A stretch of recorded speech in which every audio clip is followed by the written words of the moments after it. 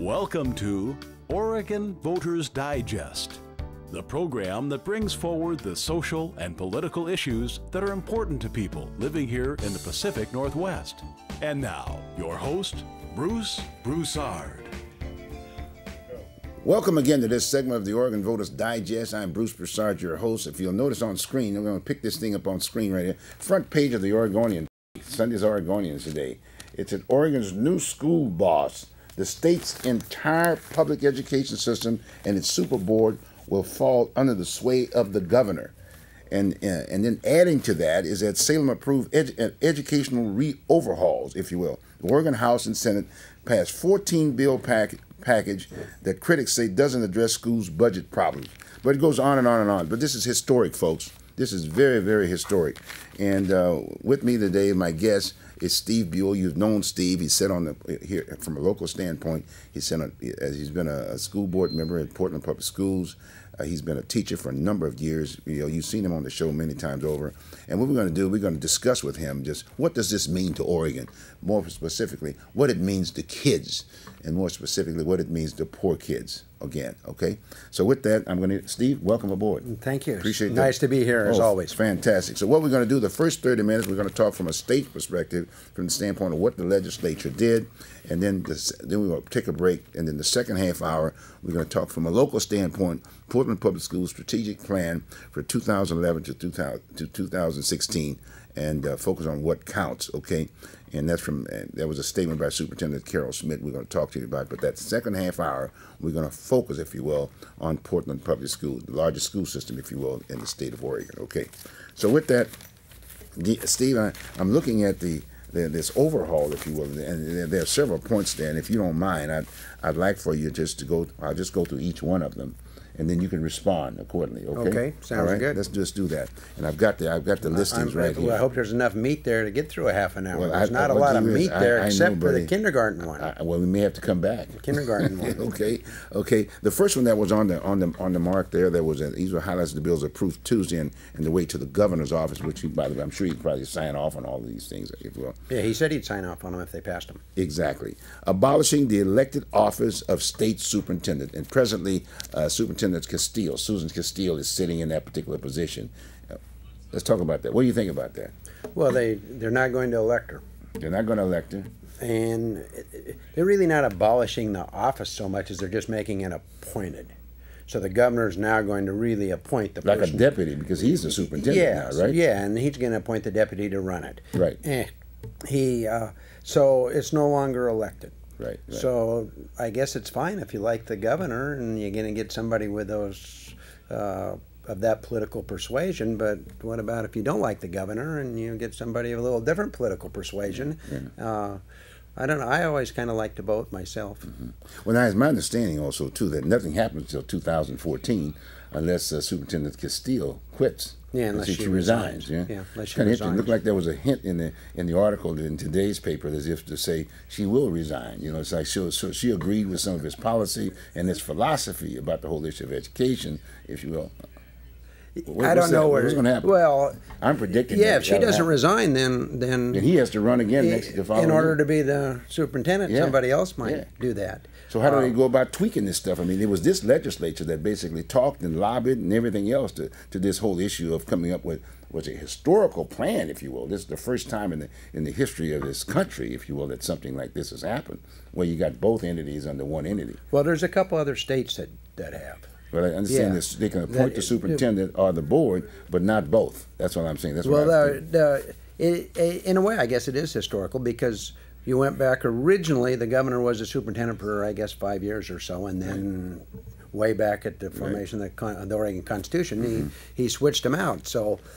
I, I'm not sure, you know, I'm not sure you think? can actually even do what they've done. Mm-hmm. We'll see. That'll be interesting to see. I don't think it has any impact any place except on the legislature, really. I mean, if you're going to bring in somebody to do the same type of thing that she's doing now, what impact does it have? I mean, when they ran for state superintendent of public instruction, who who knew what their their plans were anyhow? I mean, it was always Did she have an educational background, Susan Castillo? No, she did. She was a legislator, She was just a legislator. and uh, but when they when you when they run for super superintendent of public instruction, who's known what their their platform really was? What is their platform? Uh, I mean, everybody kind of in that whole group of people in the legislature has the almost an identical platform in a way for public schools and basically it's a lot of the reform movement stuff that's coming down you know let's get the test scores up achievement close the achievement gap uh, I, I don't think it'll have much impact really. You don't think so? No, no. It'll, the only impact it might have, it might have some impact on the union, Hmm. on the teachers, they didn't union, the agree with- OEA. they- they didn't agree with No, no, they didn't agree They with it at all, and and uh, so it could impact them to some degree because there's a lot, you know, there's all that anti-union activity throughout the country. Wisconsin going after it. So if you get in there somebody who's anti-union, it was pretty hard to elect somebody who was anti-union because the OEA could kick in enough money to keep somebody who was, you know, to keep somebody going into that position who was who was anti-union. But uh, I don't think in the long run, other than the union, it might have. It's going to have much impact on the schools.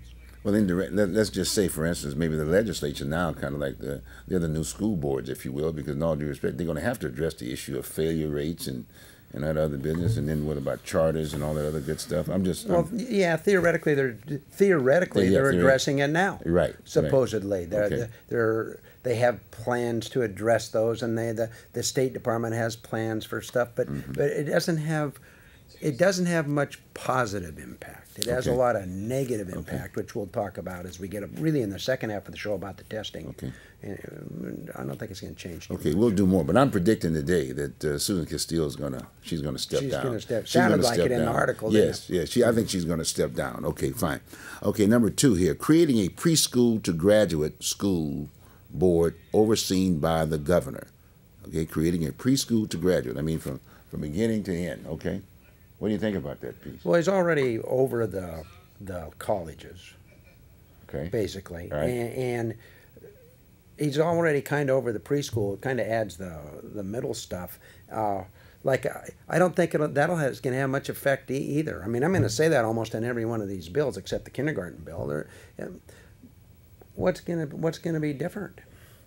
You think he's gonna get a new new staff? It's my understanding he's gonna go out for a search, if you will, for that deputy superintendent's office. I, I was kind of interesting because I was saying, well, here's Susan Castillo, you know, Superintendent Susan Castillo, and if they make the deal, and he's, she sort of agrees with him, the philosophy and the like, you would think, well, okay, fine, why don't you just go on and just talk about this piece? Well, why did they do that? The search piece is kind of interesting to me Yeah. because if you go across the country, you can't find anybody really who's been really successful with schools. Okay, There, no one. So wh- who are you going to search? Who are you going to search for? You can bring in some guy from Duluth, or some woman from Duluth.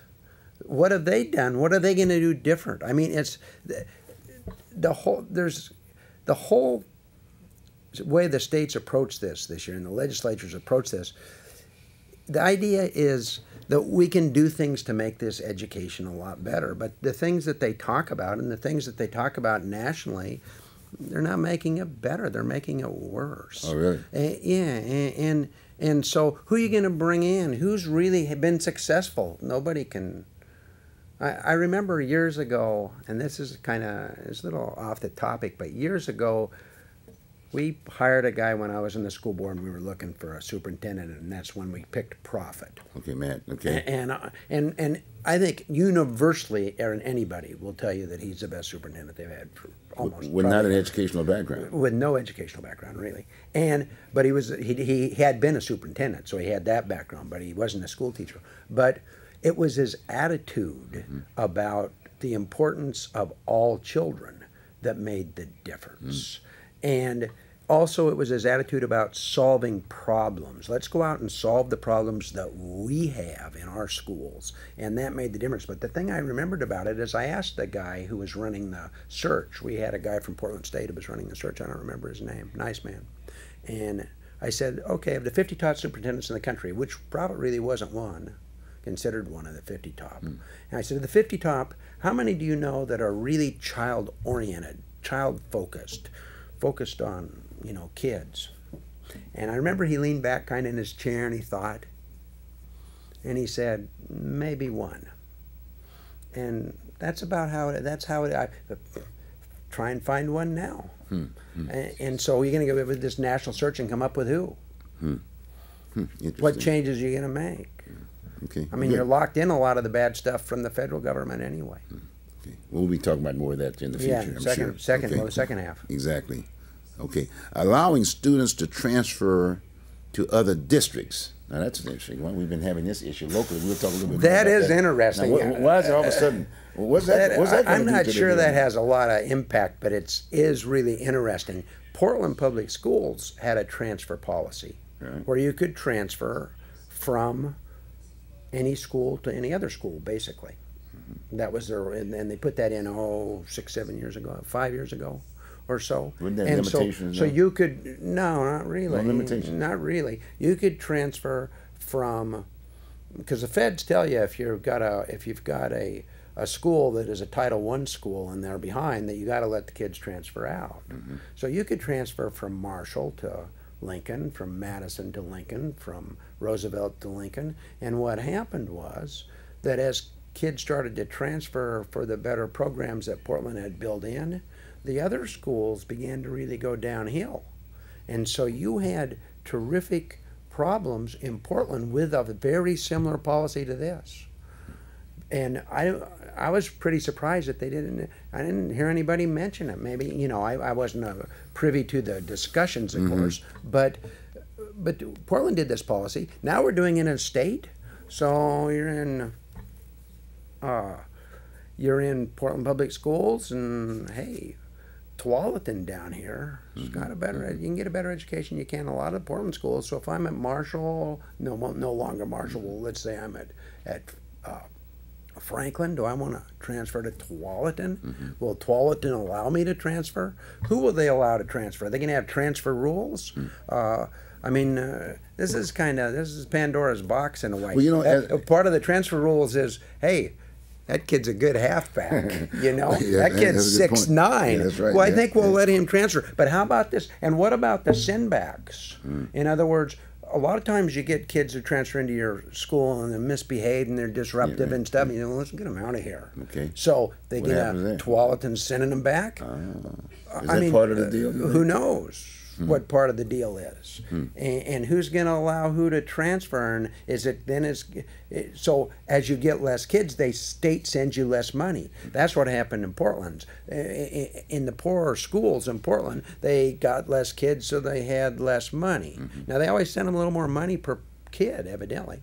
But they had less money. Well, is that going to happen throughout the state now? We're now going to have these really good school districts and these really poor school districts, and the kids out of the poor school districts now want to get out. Used to be you went in your own district, you had to go deal, and you want to well move. Wow, But boy, that's this is Pandora's box. No, that's going to be interesting. It's going to be real interesting. That's another one. What okay. happens there? Okay.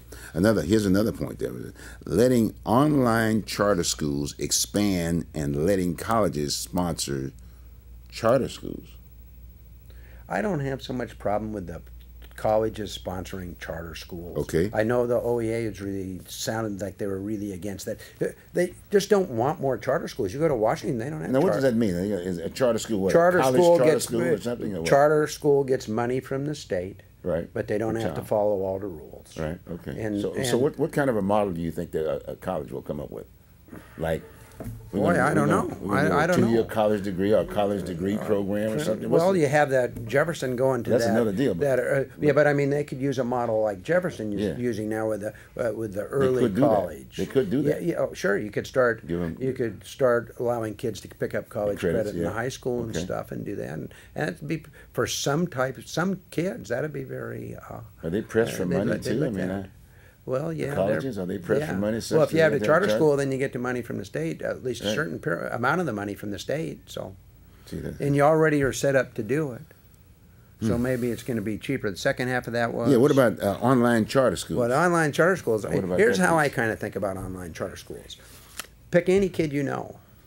You think it's a good idea for him to sit home on the computer doing his schoolwork all day at home with no other. Well, that's kids? homeschool. What about Uh, homeschool? Is that- with, is that with same? no other? Yeah, I don't know. It's not too much different in homeschool, but in homeschool, the parents really are supposed to, even though in homeschool in Oregon, there's